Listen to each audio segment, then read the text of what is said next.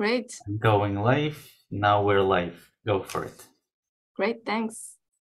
So hello everyone and welcome to the Radiation Belts in Space Physics online seminar series. And my name is Wen Li from Boston University and I'm the main convener of today's uh, RBSP seminar series. And the topic of which is about uh, radiation belts across the solar system. So here is the entire list of our RBSP Science Organizing Committee from all over the world. So if you'd like to propose any topic regarding the RBSP seminar series, please feel free to contact uh, any of us. So today it's our good pleasure to invite two excellent speakers, Quentin Nénon and uh, Emma Woodfield, to tell us about uh, radiation belts across the solar system. So during their talks, uh, please feel free to send the questions using the chat function in Zoom, and we'll try to uh, moderate the questions after both talks end.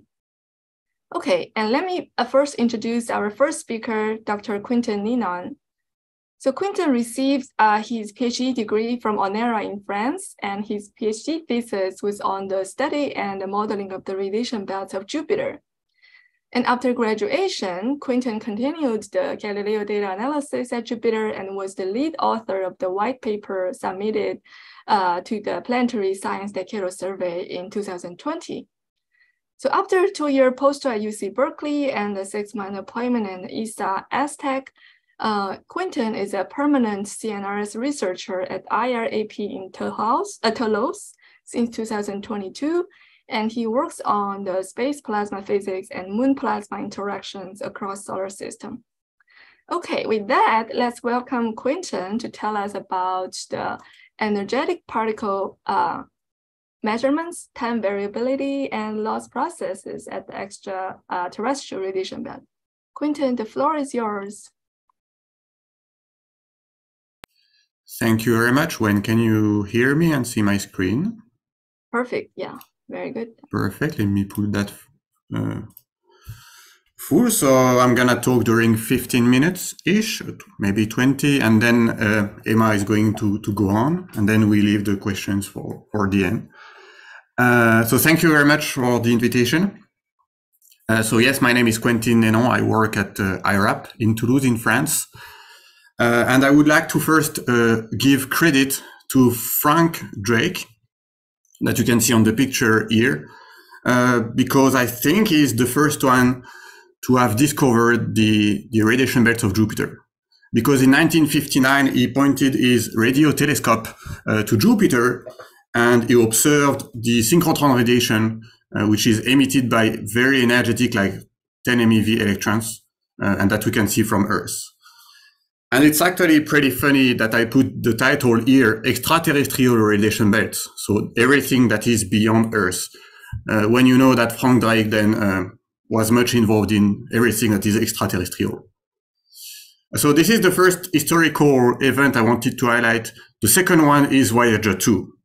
Voyager 2 visited the Earth, Jupiter, Saturn, Uranus, and Neptune. And at this time, we realized that all the planets which are sufficiently magnetized in the solar system uh, have radiation belts. So it sounds like we have something universal here, at least in the solar system.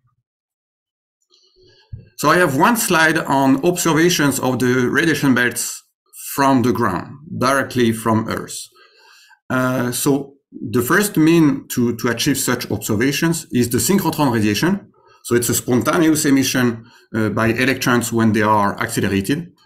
Uh, we do observe this synchron radi uh, synchrotron radiation from Jupiter. So it looks like that, uh, this image of the VLA here.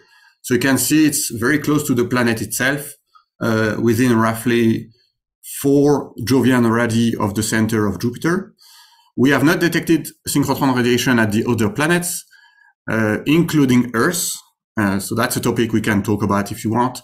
Uh, we are working on the modeling of the synchrotron radiation of the Earth radiation belts, but we may have some observations of the synchrotron radiation from radiation belts of stars. Uh, basically saying that stars can trap and accumulate particles uh, in radiation belts. The second mean to observe the radiation belts remotely are X-rays. So here, this nice figure uh, put together by George Clark showing that we can basically detect X-rays when the energetic charged particles precipitate in the atmosphere uh, or on the moons, but also you have this uh, inverse Compton scattering so that you can clearly get an image of the radiation belt. Um, but most of what we know about the physics of the radiation belts actually come from the in situ exploration. So at Jupiter, if we focus on the orbiters, we had the equatorial Galileo. We currently have Juno on the polar orbit around Jupiter, and the future is bright uh, because uh, JUICE and Europa Clipper are almost ready uh, for launch. At Saturn, uh, well, so is everything working well? Yes. Yep, yep, sorry. Uh, at Saturn, we had Cassini, uh, a fantastic uh, mission uh, around the, the, ringed giant. So Cassini remained close to the equator most of the mission, uh, except at the end when it went on a, a high latitude orbit to skim inside the rings. So we have basically observed uh, all the magnetosphere of Saturn. At Uranus and Neptune, unfortunately, we have only the, the flyby of Voyager 2, uh, but it's still better than uh, nothing. And all these spacecraft, they did have uh, instrumentation uh, of interest to understand the radiation belts. So energetic charged particles uh, detectors. So I'm not going to detail, but you can see some characteristics here. ENAs, energetic neutral atoms. So there was an ENA camera on board Cassini, uh, mostly for Saturn. And then we need uh, context information uh, like at Earth. So we need to know the, the cold plasma, the plasma waves, and the magnetic field, of course. So the, and for Voyager 2 here at the bottom right, uh, we also have a, a nice suite of instruments. The main limitations um, that we have so far is we don't have energy resolution for very energetic particles. Uh, in particular at Jupiter, we know it is these particles that we, we should observe. Um, we don't have yet an ENA camera at Jupiter, but this is going to change with uh, JUICE, and uh, no X-ray camera so far at the outer planets. So yeah, uh, just a little break uh, to put some cuteness here. Uh, so JUICE is ready for launch almost. Uh, launch is next month, so it's coming soon. And here you can see the the, the drawing that won the, the, the kit contest organized by ESA. And this uh, drawing is now on the, the fairing here of the Ariane 5 rocket. So this is going in space. And everyone is uh, smiling, and you can see that Jupiter is uh, nicely welcoming uh, JUICE. Okay, so today, uh, both Emma and I, it's impossible to describe everything about all the planets. Um, uh, but we are going to try to give an overview at least. But I would like to, to point to a few references. So I think the main message here is to say that everyone in the Earth radiation belts community is of course very welcome to, to join the uh, outer planet uh, radiation belt community. And if you want to start somewhere here, I've put a few references. Um, so for instance, this one, uh, this is a book chapter by uh, Elias Roussos and Peter Kollmann. I can maybe quickly show it. It's just here. And so the, the objective here is to facilitate anyone who wants to start uh, working on this topic. You can see it's not very long and it's well organized. So you can see the, the physical processes at, at the two planets, so Jupiter and Saturn, how they work like CRAND, radial transport here, moon absorption, charge exchange, and so on. And then you have the average configuration of each type of radiation belts and the uh, time variability of the radiation belts at Saturn and at Jupiter. So we have this material uh, to then uh, so to, to help start in this uh, outer planet radiation belts. Uh, this nice uh, review by Solen, and then here two papers, including a very recent one by Ian Cohen on Uranus. it's just a few a few ones.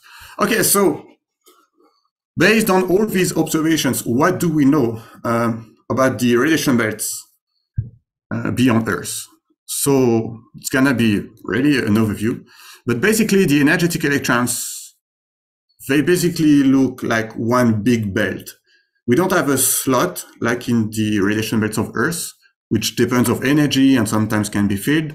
Um, but we don't see that clearly uh, for the energetic electrons at the outer planets. So the main source of these energetic electrons should be somewhere in the middle and outer magnetosphere. Uh, then we need to define what we mean by outer magnetosphere. But something that was uh, revealed by Cassini at Saturn on the right is what we call zebra stripes. So when you see the, the flux as a function of energy and an L shell or L star or whatever you want, you see these kind of uh, stripes. Uh, even if at the moment it's not sure at all if the process which is creating this at Saturn is the same um, as is uh, occurring at Earth. This is a, an open question. Uh, and then we, we observe the, the, the, spectrum, so the, the flux as a function of energy for uh, the electrons. And without any more introduction, here is the comparison between the, the five planets. So on the bottom, on the, the upper panel, sorry, so this figure is from uh, Barry's paper. Uh, each letter is a planet, so E is Earth, J is Jupiter, uh, and the number gives you the L shell. So you can compare, for instance, E5 and J8. So you can see that the fluxes are, quite similar below 1 MeV, but above 1 MeV, this is where uh, Jupiter, the king, uh, really kicks in. Uh, and one of the big questions that we have is what makes Jupiter so powerful for uh, the acceleration of electrons? Uh, then you can see the other planets. Um, there are many, many things to, to discuss here. But what I like is here this uh, bottom panel. Um, this can be kind of technical, but this is a Kennel-Petschek analysis. And when this uh, ratio here, uh, log 10 of this ratio gets close to zero, the information is that maybe the radiation belts are saturated, meaning the energetic charged particles uh, try to, to, to generate electromagnetic waves which limit the flux of energetic charged particles. I don't know personally if the Kennel-Petschek limit concept is confirmed uh, or not at Earth after the Van Allen probes. So that's something we can discuss during the questions. Um, but then the question is also open for the uh, other planets, of course. But from this uh, plot of Barry here, it looks like most of the planets, the radiation belts are saturated, except Saturn, uh, that you can see is below. The time dynamics of the electrons because here it was like a, um, it was like a, the global configuration. We see many different things. Um, at the outer planets, we have two words or two names that we call injections and interchange. Uh, I'm not sure we fully know what is the difference between the two. Um, but for the long-term variability of the radiation belts, we do have the measurements of the synchrotron at Jupiter since the 1970s. Uh, Cassini spent a long time at Saturn. And what we understand is that the, the long-term variability can be controlled maybe by the solar wind, maybe by the UV flux of the sun, or maybe by something internal like the volcanic moon Io or Enceladus. Uh, a lot of open questions. Uh, the ions. So when we speak about ions in radiation belts, the first thing that we have in mind are protons. Um, because I think they dominate the flux uh, at Earth and Saturn. This is not true at Jupiter. Uh, at Jupiter, you can see on this plot that we have significant intensities of heavy ions. Um, and I would like to highlight that for Jupiter and Saturn, uh, Cassini and Juno have shown that we have uh, a source of kilo electron volt ions very close to the planets, which may be uh, ENA stripping. So you generate an ENA somewhere uh, that gets stripped by the atmosphere of the planet. Uh, it's only a proposition so far, but the, the observations are, are there. Uh, and for the ions, if we increase a little bit the energies, if we go to MeV, 40 MeV, 100 MeV, what we clearly see is the effect of the moons. So the moons uh, basically absorb the particles. So along the corridor of the moon, you can see uh, a strong reduction uh, of the fluxes. And so the MEV protons that we see in between the orbits of the moons, uh, like here on this uh, cartoon on, on the left, they should come from a local source. So at Saturn, this uh, local source is identified to be CRAND. So I'm going to talk about CRAND at the end. Uh, and at Uranus, um, Ian Cohen uh, recently uh, did a reanalysis of the measurements of Voyager 2, and they found that it can be CRAND in between the orbits of Miranda and Ariel, uh, but it can be also something else. Um, not sure what is happening here. Uh, I'm going to skip this one for the sake of time. Uh, so the, the time dynamics of the ions. I have one slide on models because so far I have mostly talked about uh, measurements. Uh, so we have two big families of models like at Earth. So the empirical models, to specify the environment. So the, the JPL models and the, uh, there is one um, in Europe uh, developed by Onera. And then you have the, the physics-based models. So it's mostly Fokker-Planck uh, formalism. So we have the Salambo model at Onera, uh, and then you have the different institutes here, uh, including uh, the models of Emma. Um, but the good news is that hopefully we have more models coming uh, soon. I, I, have seen the presentation uh, in a conference by uh, Sasha Drozdov uh, working on Saturn as well. So hopefully more and more people will develop models uh, and maybe with a different formalism than just uh, Fokker-Planck.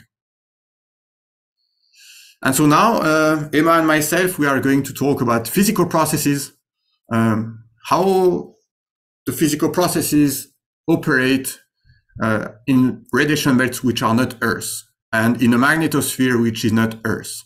Uh, the big questions are what is universal, what is actually happening at all the planets, and so we can say, okay, this should also happen uh, for extraterrestrial, uh, extrasolar, sorry, uh, planets. Uh, but conversely, what is specific to each planet? Uh, so th these are open questions on which we are working. but the big physical processes and questions that we have um, it's the origin of the particles first. Basically, you have small charged particles. They should come from somewhere. They can come from the sun, uh, from outside uh, the heliosphere, so galactic cosmic rays, from the atmosphere of the planet, or uh, from moons. Then Emma is going to talk about um, radial transport uh, processes and acceleration of the particles. And I will have just one or two slides on um, the loss uh, of the particles. So yes, here I have put in purple uh, GCR because I'm going to talk quickly about CRAND in one slide. Uh, and it's really, the objective here is to compare the different planets. So Earth, um, so I may be wrong, so don't hesitate to, to let me know after. But I think at Earth, CRAND, so the cosmic ray albedo neutron decay, is a source of MEV protons close to the planet and uh, maybe quasi-trapped KEV electrons. At Jupiter, we have so far never detected, uh, detected uh, CRAND. So we don't know yet if it is because we did not have an instrumentation uh, able to observe CRAND or if it is because um, actually the magnetospheric flux, so coming from the magnetosphere, completely overwhelms uh, CRAND so that you will not see CRAND at all. Uh, at source, uh, at, sorry, at Saturn, uh, once again, this nice cartoon showing that it is a dominant source of MEV protons. And at Uranus and Neptune, uh, it's an open question. Here you can see uh, this figure on the right, once again from the nice paper of Ian. And so when they put CRAND, so it is the second panel, they get the, the blue, the green, sorry, uh, phase space density profile, and they look for something that looks like panel C. So they say the source cannot be uh, this blue source, it should be this one in panel C. Um, I'm not sure it completely closes the question. It can still be CRAND, um, but basically we just have the measurements of Voyager 2, so it's hard to, to conclude. And loss processes, I'm not going to detail everything. Um, but basically, we have the moons that can absorb uh, the rings, the dust, magnetopause shadowing, charge exchange uh, with neutral particles and Coulomb collisions, uh, the atmospheres of the planet, the synchrotron, we lose energy basically. Um, and uh, Emma is going to talk about uh, waves. But I would like to, to finish on this slide to say that if we want to understand the, the source and the loss processes, um, and here specifically the, the loss processes, we need to combine uh, data and modeling. And now the question is, okay, how do we model that? How can we model and understand the loss processes? And for that, there is a, a handbook which is being prepared by uh, Peter Kollmann and uh, Sasha Drozdov. And in this handbook, hopefully this year or next year, we'll have a chapter uh, where we plan to give all the equations. So for instance, if you want to implement by yourself the loss of energy due to synchrotron, then you just go in this chapter and there it is. If you want to implement the um, absorption rate due to moons, then it will be there. And so that's it for me. Thank you very much. And now I'm going to let the floor to, to Emma. Thank you, Quentin. And uh, as uh, mentioned, we're gonna do the Q&A part after both talk ends. And then let me introduce our second speaker, Emma Woodfield. So Emma received her PhD degree from the University of Leicester in UK in 2002.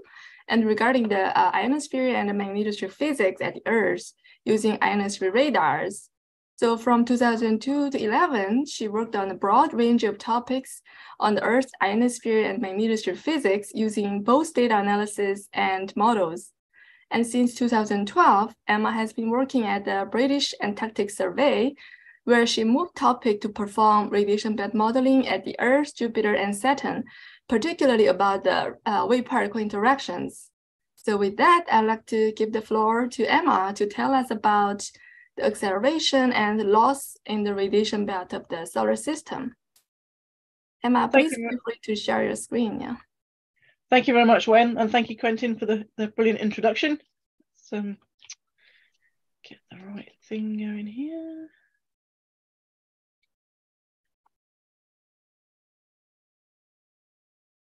Uh,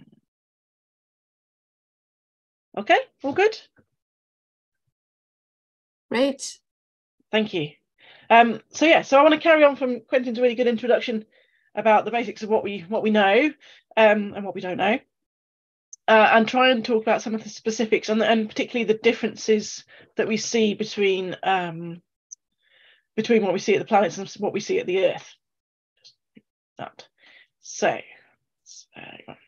so uh, in counterpoint to, to the losses slide that uh, Quentin showed towards the end there, um, I'm going to talk a little bit more about sources, but specifically uh, the radial diffusion, um, radial transport, uh, and the cyclotron resonant wave particle interactions. Uh, actually, no, go back that. So the radial diffusion at Jupiter is um, well, very much similar to radial diffusion at the Earth, um, and also at Saturn. But the, the one um, critical difference is that there is uh, the theory behind um, what causes the radial diffusion at Jupiter, at least, is that it's it's not down to um, ULF waves; it's down to um, uh, asymmetries in the atmospheric tides, changing the electric field in the ionospheric dynamo region, um, and consequently the the um, dependence on the L parameter um, for the radial diffusion is is uh, somewhat lower than it is at the Earth. At least that's the theory. And at Saturn, um, we're not really sure. It could be either Earth-like or Jupiter-like, or it, yeah, we know very little about that really, to be honest. Um, so there's, there's the overall process is similar, but the cause, the generating mechanism behind it, um, we're much less sure about at the planets. Um, right, and then I'm going to talk about uh, rapid adiabatic transport next, which I've sort of labelled convection, although you might want to call it advection, um, depending on uh, your background. One important thing to realize about this here is that um, the magnetic fields at Jupiter and Saturn are upside down compared to the Earth. So the north and south poles are reversed. Uh, as a consequence of that, the electron drift, the magnetic and gradient, gradient and curvature drift, is in the opposite direction to that at the Earth, which is at the opposite direction to the co-rotation of the plasma at Saturn and Jupiter. So Saturn and Jupiter, the plasma co-rotation is very, very strong. And then we've got this energy dependent, um, charge dependent gradient and curvature drift, which is opposing that.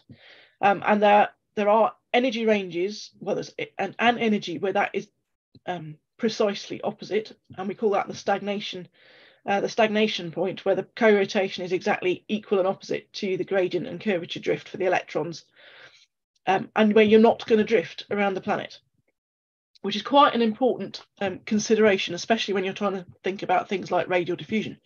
Uh, but I won't go into that here. That's complicated. So the particles have stopped drifting, but there is a global electric field. So this is not at least at Saturn. So this is a Saturn example.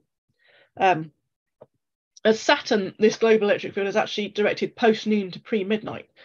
Um, so it's not quite a dawn dusk like you would see at the Earth. Um, but it's nevertheless a, a, large global scale, relatively small, we're talking 0.3 millivolts per meter electric field. And that gives its own uh, drift to the particles.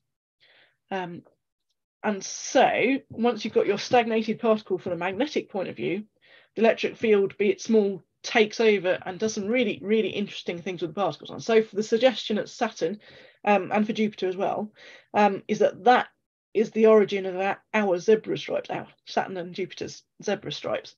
Um, and so this figure from Howe in 2020 shows the kind of interesting shaped orbits that you can get once you've got this sort of stagnation energy or, or quite close to it, but actually further away than you might imagine, given um, given the um, naive look at the physics about it. It actually extends quite away from the, the, the stagnation energy. And so we have these uh, so-called banana orbits. Um, and you can see that these are crossing large tracts of L shells. Um, and, and obviously they're changing energy as they're doing it. This is an adiabatic process. Um, and so this can result in quite rapid adiabatic transport. Um, and so it, rapid in Saturn terms is several, well, multiple L shells over a, a day or two, um, which is rapid for Saturn. Um, so, and so that's that's one the other radial transport that we have to consider into in, in addition to the the standard sort of radial diffusion idea of, of adiabatic heating. I'm talking of radial diffusion and adiabatic heating. So an analysis by Peter Kollmann um, showed there are broad regions where adiabatic theory matches observation. So this um, set of plots, one, one for Jupiter at the top and one for Saturn at the bottom. Um, and you've got L shell going outwards. Note, note the very different scales here. Jupiter's off to 100 or so, um, and Saturn out to, out to 10. And this uh, cutoff energy is a, uh, a description of the, of the spectra that went into to doing it. So there's a particular cutoff where the spectra sh sharply turn downwards, and that's this measure on the on the y-axis here. And the important things to note on here are the orange line, which shows you what the adiabatic um, radial diffusion transport process would give you in terms of that cutoff energy. Um, and the blue measurement, the blue line here is the median um, value of all, all the points in the background there. So you can see there are a large range where that orange line matches up with the wiggly blue one, um, both for, for Saturn and for Jupiter. And that is where we were relatively confident that the, the adiabatic heating process is probably the dominant. There may be others, but that's probably the dominant process. But you can also see there are um, interesting regions, particularly at the inner edge um, at Jupiter over here. We're getting into around about sort of 15, 15 Jovian radii, which is in, coincidentally where a lot of the waves start to, to be quite important, um, where the, the adiabatic theory and uh, the, the measurements don't really align up very well. And likewise, there's some similar interestingness um, going on at the outer edge at, at Saturn over here. Um, so, so the adiabatic theory works well, the radial diffusion works well, but not everywhere. There's also a very wide variability in the data. So you'll all be very familiar uh, with the, the quasi quasi linear theory Fokker-Planck equation method of looking at global radiation belt modeling. I just put it in here for a reminder. Um, and so this is the uh, simplified version with just the pitch angle in alpha, energy, and um, L shell, so the radial term here, and some uh, a lost term to the atmosphere.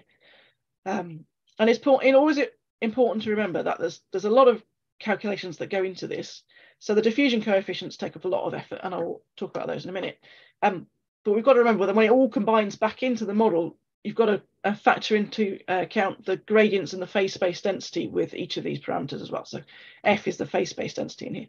Um, so it's a combination of those two, and, and we must remember to make sure that that, that is taken into account.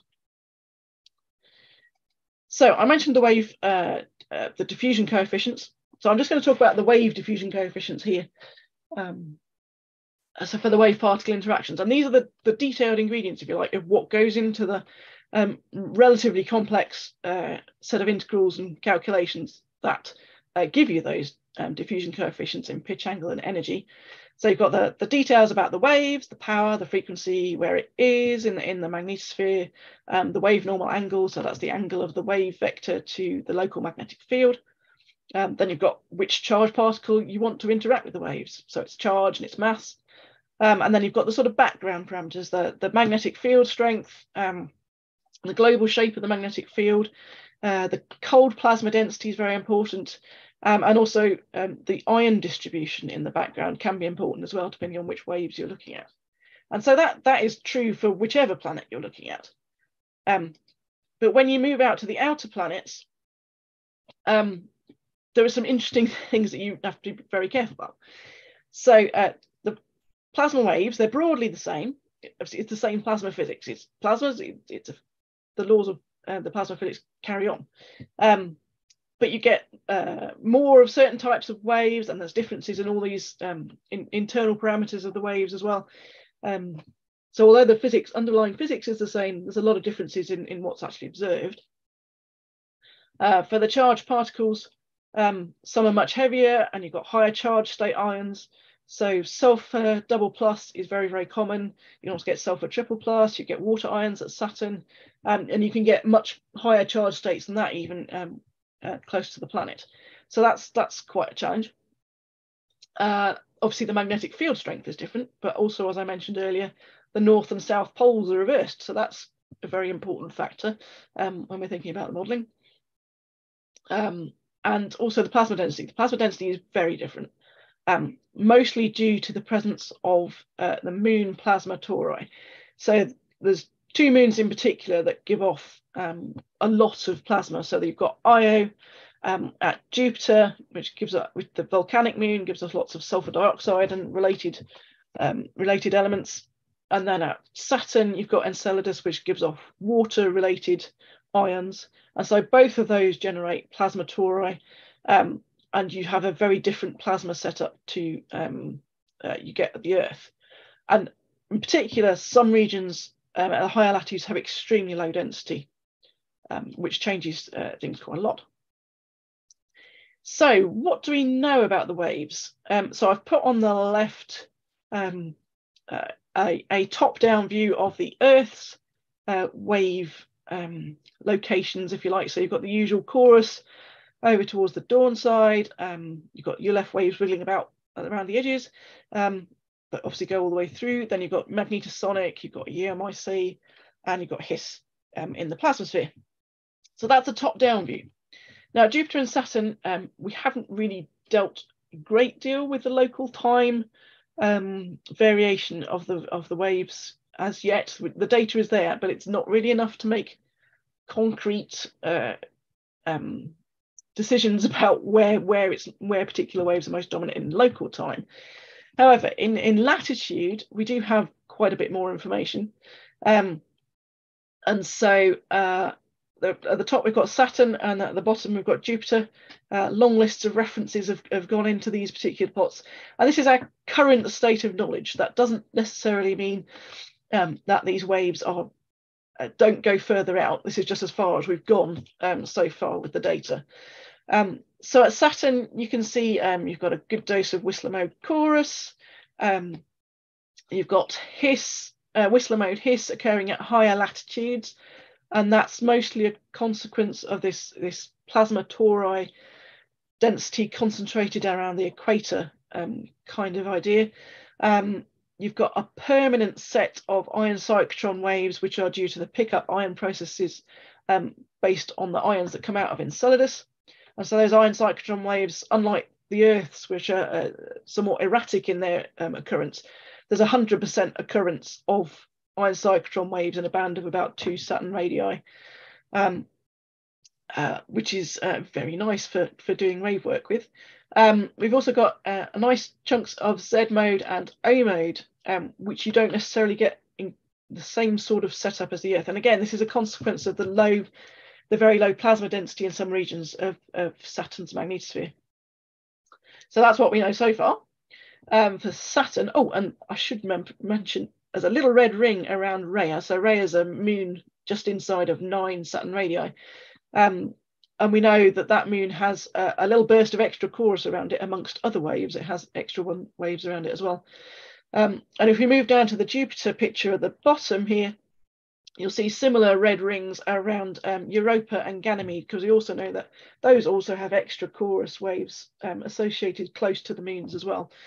Um, and then we so the Jupiter picture is somewhat less filled in. Um, as Quentin mentioned, um, the Galileo mission was primarily equatorial, so we know moderate amount of what happened near the magnetic equator.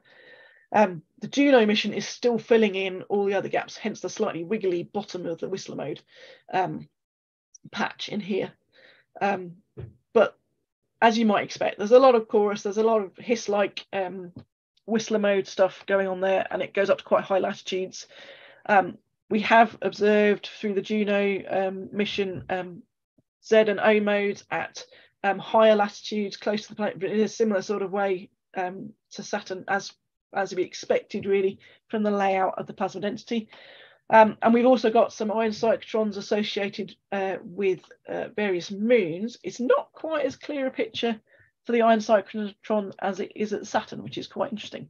Um, but you can see there's some quite interesting ion cyclotron waves in here, sulfur dioxide ion cyclotron waves, for example. Um, and so this picture is still being filled in, but um, it's, it's looking very promising and certainly very interesting um, from a, a, wave particle perspective. Um, so I said in the, in the title, um, I was going to talk about acceleration and loss, because really the wave, wave particle interactions give us both. And depending on what factors you, what parameters you put in, you can get both out. Um, and so the, the, the picture at Jupiter um, and Chorus. So Chorus at Earth is obviously a, a uh, it can can give you um, diffuse aurora, um, and it can also give you nice, beautiful acceleration and, and lumps in your and your phase space density when you've got a burst of chorus waves, um, and give you lovely acceleration of the electrons. So chorus waves, obviously, first point of call really when looking at other planets to see what it does. But Jupiter is really quite interesting. So um, there's a the study on the left, which I did some time ago now, um, looked, which is based just based on the Galileo data. So we only knew really what the waves did up to about 10 degrees of latitude, magnetic latitude. Um, and we had to kind of make up what happened after that. Um, and basically we just assumed they went up to 10 degrees because we, we didn't know any better. Um, and we used a dipole field because that was easy. And this region of Saturn, uh, sorry, Jupiter, is is relatively dipole-like. Um, so that wasn't an unreasonable thing to do. Um, and so um, we ran the simulation over over some days, looking at the energy of, of a radiation belt. We started with a with an we started with an empty radiation belt and the idea of what happens. How how might you build up um, uh, a radiation belt at about L of ten um, using waves. And so we've got injections of particles in here. So we have a little burst of injections every um, three days or so um, from Barry Mauk's paper in 1999, I think that was.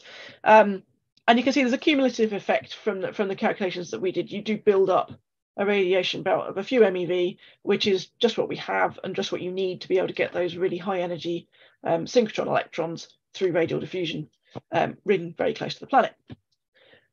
But then if you do different uh, simulations, so uh, Qianli Ma um, in 2020 uh, looked again at um, uh, the effect of the chorus waves or Whistler waves in general. Um, and these are pitch angle distributions showing the evolution over time. Um, so the, the starting points in, in black and the end points in red. Um, using constant chorus power up to a much higher latitude, so 50 degrees, where Juno has now shown us there are Whistler mode waves. Um, and these particular simulations were done in a non-dipole field.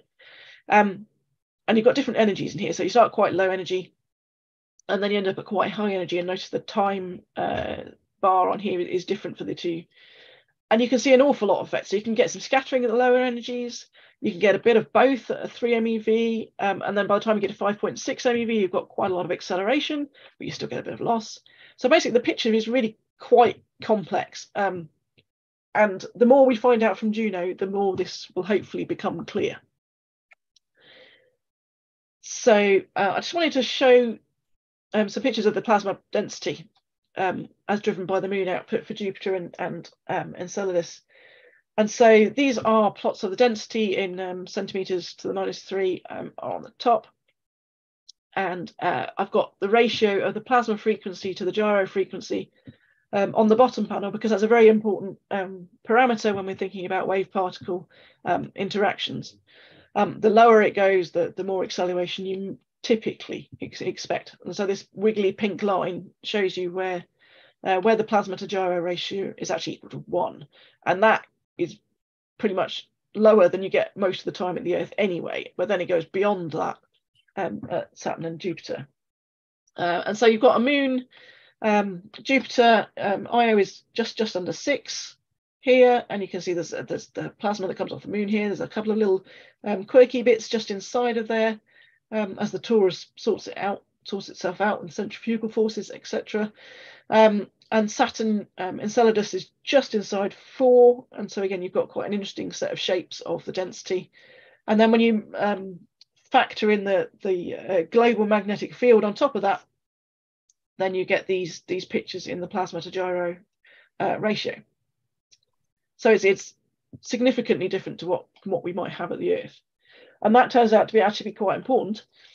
Um, so as Quentin said, we haven't got time to cover absolutely everything. So I've put in a couple of examples where things are sort of significantly different um, to what we see at the Earth. And so this was a, um, a study we did on the chorus interactions um, in very low plasma density uh, regions. And so the, the top left figure shows you um, a plasma density model um, from Saturn um, uh, with Enceladus again, just, just inside of four here. And that line showing you where the plasma to gyro ratio goes below one. So above it is below one. And then at the top, you've got the, the wave power from the chorus um, shown in the blue line at the top. And then underneath, you've got uh, light blue shows you where the plasma is greater than gyro frequency. And the darker blue shows you where the plasma's now gone below the gyro frequency, which is, again, it's a, it's a situation we very, very rarely have at the Earth. Um, and those, uh, that, that density change gives you two different reactions or interactions between the chorus and the electrons at, at Saturn. So if an L shell of six, uh, where uh, the waves really don't encounter much of um, a, a, low density region, that, these are a fairly typical chorus um, type reaction that you'd expect at the Earth. Um, and because the density, uh, the density to gyro ratio, etc., this is quite a slow. Um, it is an acceleration process, but it's very slow. Um, However, once you start getting this low density region significantly coming coming down in latitude, you get an extra set of um, resonances um, from when that, that plasma goes below the below the gyro frequency, and these are off equator, um, and and entirely in that that plasma um, over gyro region uh, is less than one, and so you get an extra burst of diffusion there. And so that when if you look at the pitch angle distributions from that, you get so at the bottom we've got a, a sort of more Earth-like chorus. It's very slow. The time scale on here is 500 days. Although do bear in mind that everything is slower at Saturn and Jupiter than it is the Earth. Um, um, but if you go inside where you've got uh, some of this lower density region, you start to get very rapid acceleration and it is off equator. So you are looking towards having um, more butterfly shaped distribution, particularly at the higher energies. Um, so this is this is 2 MeV here. Um, so that's one one thing that was very different um, on those low density regions. Um, another thing was quite different, the Z mode waves. Z mode waves we've tinkered with at the Earth. There's a couple of studies that look at Z mode wave and, and how it might actually be quite effective at accelerating electrons. Um, Saturn, as I showed you in the map earlier, has a massive blob of Z mode waves um, just there pretty much all the time. Um, so it, it, plays a much bigger role in the dynamics of, of the radiation belt and Saturn, and particularly that that um, inside uh, the orbit of Enceladus at about four, um, the dynamics of the magnetosphere are very slow. There's very few, if any, injections in that region. It's a very quiet region in many respects. There will be radial diffusion, and there is lots of Z-mode waves. So we attempted to do um, a comparison between you started with an empty radiation belt, that, that idea we've used before, um, and tried to fill it up using either radial diffusion um, or uh, just the Z mode waves, and, and what would actually happen in the, in that scenario, um, to try and try and gauge the relative importance of the two different um, uh, mechanisms. It's quite hard to do, um, but the, the bottom panel here shows uh, the, the results of what that did. And so we're looking at 365 days, that's Earth days. Um, obviously quite a long time, but as I said, this is a really slow, quiet region in Saturn's uh, magnetosphere and radiation belts. So that's actually not an unreasonable time um, for that particular region of space. And you can see the Z mode waves do build things up to, to where um, the, the model of Saturn's uh, electron flux is, which is um, SATRAD I've included here. Oh, excuse me. Um, and at the bottom, we've we've um, fed in the source at each of the main moons for the radial diffusion, and it is building up as well, but it, it's um, not it's building up differently, and um, the the power of the waves is actually actually quite quite important um, in that particular region inside. So Z-mode waves, many more many more of them, and they have really quite an important effect on the dynamics at uh, of the radiation belt. So I'm going to take a quick quick look at some of the observations versus simulations that are, are out there. Um, so the, the work we've done with the, the so the Z mode uh, is also an off equatorial process because the Z mode likes to live in, um, likes to propagate and exist in low density regions, which are typically off the equator. So the Z mode is an off equator process. The strong chorus diffusion is an off equator process. The same also happens with the HISS at, at Saturn, which is even further off the equator. So these are all off equator uh, mechanisms for accelerating uh, the, the MEV electrons.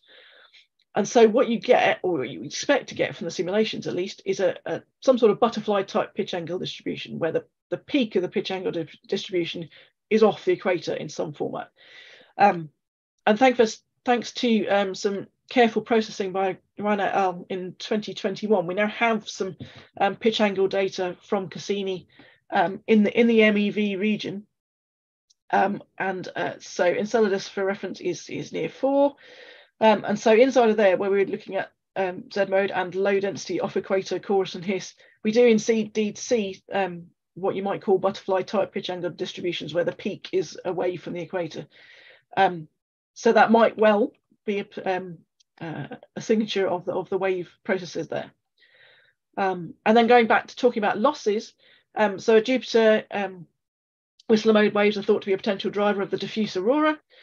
Um, and um, some work here by Wen Li um, showed uh, a diffuse auroral region and, and the modelling to go with that to show you that. So if you look at panel E here, um, you got the precipitation um, elect electric flux of the observation um, versus the model. And actually in that diffuse auroral region, um, it looks really quite a nice uh, comparison and this is this is Juno uh, data in here.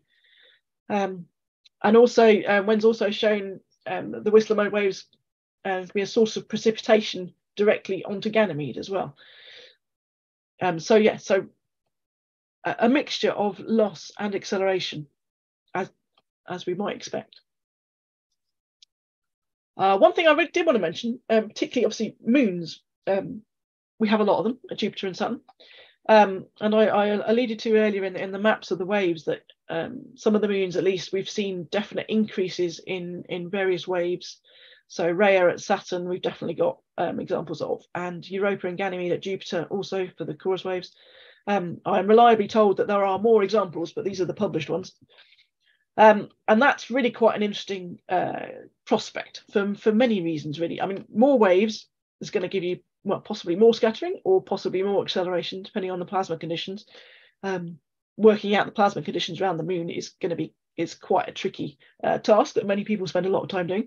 Um, so actually working out what's going to happen is, is going to be uh, a tricky tricky task for the future. But more waves, more scattering, or more acceleration Um, if you get more acceleration, you get more energetic particles, which gives you more weathering of the moon, and you can see those signatures on the moons um, from the radiation belts. Um, and that in itself might actually induce more waves near the moons because you, will have um, lost cone um, anisotropies in the temperature. Um, and similarly, scattering, you might get auroras. I mean, Ganymede is known to have ultraviolet auroras. And uh, more weathering and sputtering, and again, possibly more waves. And so you're in this in incredible little uh, feedback loop potentially uh, of what's going on at the moons. And, and that's a really interesting, a really interesting target of work for the future. It's not trivial um, at all, but it's something that's really, really interesting. And, and uh, it's something uh, particular to, to Jupiter and Saturn radiation belt work. Uh, I wanted to throw in a quick bit of Uranus. Um, so Quentin showed some of this earlier. Um, and so Uranus is a really interesting, really interesting planet. So the, the magnetic uh, tilt is very large, as a big magnetic offset. And when you start rotating that at approximately 17 hours, you get a, a magnetosphere that looks something like this. And this is um, simulation from Fletcher et al. in 2020. Um, at the top of the screen, you see the sort of terrestrial one for comparison. So you might think, given that incredible uh, magnetospheric structure that you might not have any radiation belts in there at all. Um, however, the, the, observations from Voyager, so Voyager went past Uranus in 1986, um, and there definitely was uh, an electron radiation belt and a proton radiation belt on both the inbound and outbound passes, um, which is, is quite incredible, really. So there must be some sort of vaguely stable region in the middle of here for that to have, have been observed. Um, and from the, the waves point of view, we do have some waves data from the Voyager pass. It's not a lot, um, but it's there. So I've, I've shown you um, uh, the, the, the, sort of uh, the time scale on which we're, we're looking at here down here is, is, then blown up to show you. So we've got Chorus, we've got Hiss. Um, there's some other things in here as well that, that haven't been um, obviously identified. Um, trying to work out what these waves do under these circumstances and with very little knowledge about the plasma density is going to be tricky. But given the interest in Uranus at the moment, that's something that that I think we're going to have to try and do. Um, and hopefully we'll have a Uranus mission eventually. um, so to summarize, um, these are what I've been talking about, uh, radial diffusion, cyclotron resonant wave particle interactions, um, and the rapid adiabatic transport um, which is that uh, global electric field driven adiabatic transport. Um, all of these are capable of both acceleration and loss at the outer planets, uh, depending on which direction in L you're going or which um, which way the energy goes between the waves and the particles. Um, and the details are complex, as as they always tend to be. And um, as I said before, much more has been done than I've had time to cover here, uh, for which apologies for that which I've not covered. Um, and thank you very much. Yeah, let's thank both Quentin and Emma for the really interesting talks. Uh, I saw there are already several questions uh, written in the chat. And also, if you have any questions, feel free to raise your hands. I'll try to moderate the questions uh, within the given time. Okay, the first comment is from Sasha regarding the zebra stripes. Sasha, oh, that was that doesn't need to be read. Okay. Do you want to ask a follow-up questions or comment? Just comment. Okay, okay. Then the next question is from Lynn. Uh, Lynn is asking about the uh, electron to uh, uh plasma to cyclotron frequency ratio. How that does already answered that. I asked the question about two slides before the nice plots showing showing that. So, okay. Sorry about that. okay. Do you have any follow-up questions? no, that was it. Okay, great. Thanks. Okay, and there is a comment from Barry about EMIC wave at Jupiter, and um, he mentioned there is a study about observation of EMIC wave uh, from Ulysses mission from Lin et al. 1993 paper. Yeah, I guess this is about uh, for the comment uh, regarding your nice cartoon, yeah, showing all the waves. Yeah. Okay.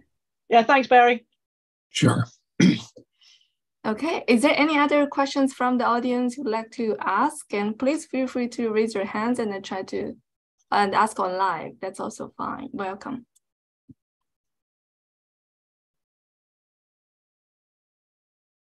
Okay, actually, I have a, a lot of questions. So I think uh, that, uh, one of them is about uh, your wave cartoon. Yeah. So um, Emma, would you please share your wave cartoon again? So one Okay. thing I noticed is that uh, ECH wave in your wave cartoon actually extend to the pretty high latitude at Saturn. Do you have an idea why that happens at Uh, Saturn? hang on, I'm nearly there. Uh, sorry, I had to stop the presentation. Share. Okay. Um, yeah. So uh, I don't know why, um, but this was Doug Menietti's survey of 2017, um, and which which shows them. Yeah, and, and not just one of the harmonics either. It's it's multiple harmonics, quite a long way off the equator, up to about sort of 40 degrees, I think it was.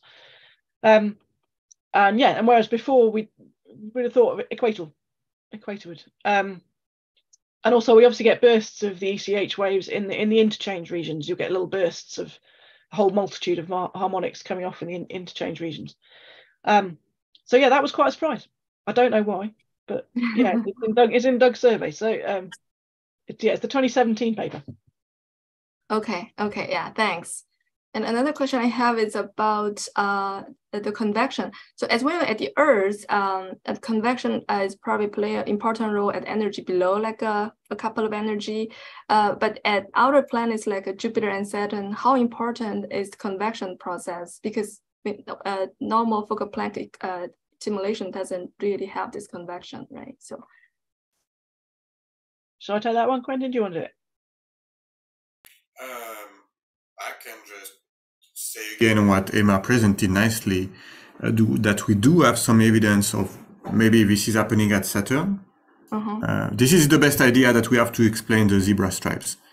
Uh, do you agree, Emma, on that? Yeah, yeah, I agree. Yeah, and it, and it's as Saturn, it's it's really put it's right in the middle of the energy range, so it's sort of um, MEV or roundabouts.